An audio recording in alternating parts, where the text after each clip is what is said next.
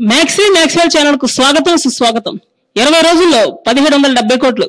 కొత్తగా రిలీజ్ అయిన సినిమాలు కూడా బాహుబలి తీవ్రతను తగ్గించలేకపోతున్నాయి.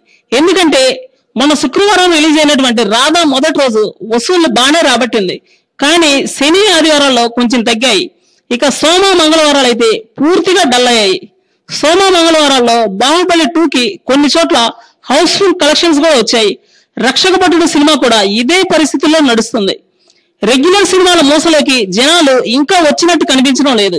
బాహుబలి టూ రిలీజ్ అయ్యి దాదాపు మూడు వారాలు దాటిపోయినా కూడా వసూలు ఇంకా ఆగకపోవడం కొంత ఆశ్చర్యమే.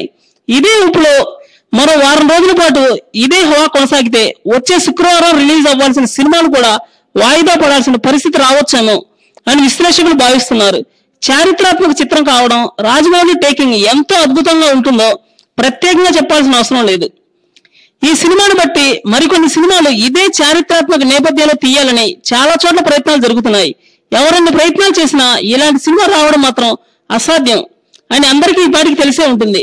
అయినప్పటికీ ప్రయత్నాలు మాత్రం ఆపడం లేదు. ఓడిపోవడం వీరుల లక్షణం కాదు. కానీ ఓటమి కూడా ఓ భాగం. పోరాడి ఓడాలే కానీ అసలు యుద్ధమే చేయకుండా ఓడటం సరైంది కాదు. ప్రస్తుతానికి అందరూ కూడా ఇలాంటి పరిస్థితిలోనే ఉన్నారేమో.